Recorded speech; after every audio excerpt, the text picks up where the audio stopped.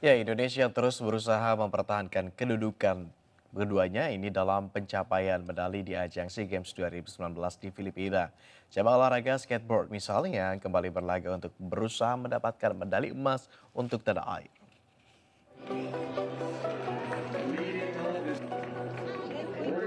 Indonesia kembali berlaga untuk merebut medali di ajang SEA Games ke-30 di Filipina. Atlet skateboard Indonesia, Nipa Arumdata Pramesti dan Yemas Bunga Cinta berlaga dalam nomor Women's Park dan Game of Skate.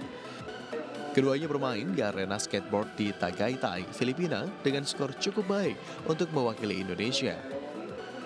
Usai menampilkan trik, Nipa, skateboarder asal Indonesia berumur 14 tahun ini berhasil mencetak angka 8 dan 8,10 serta membawa pulang medali perunggu.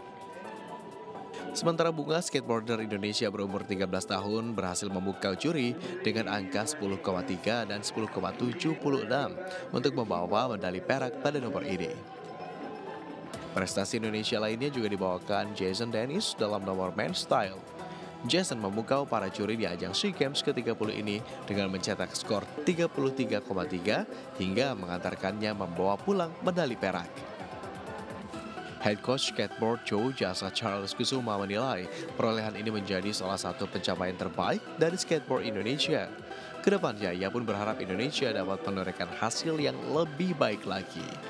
Uh, hasil memang kita berharapkan banyak dapat medali emas, cuman mungkin karena masalahnya lawan kita itu lawan yang sangat berat karena mereka banyak pakai naturalisasi gitu. Tapi kita sudah berjuang keras untuk bisa membawa Indonesia mendapat uh, tempat yang tertinggi.